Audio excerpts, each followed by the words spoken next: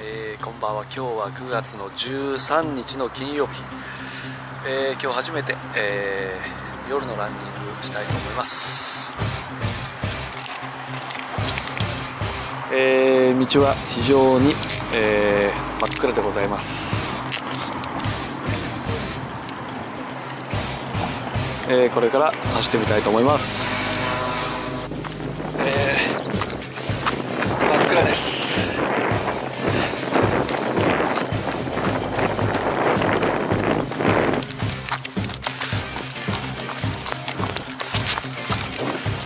え、今日も、えー、1.5キロ走ってきました。